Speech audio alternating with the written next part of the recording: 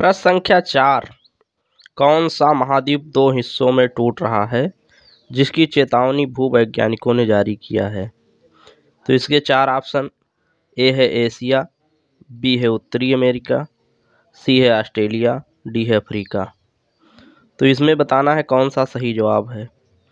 तो देखते हैं इस प्रश्न का सबसे पहले कौन सही जवाब देता है।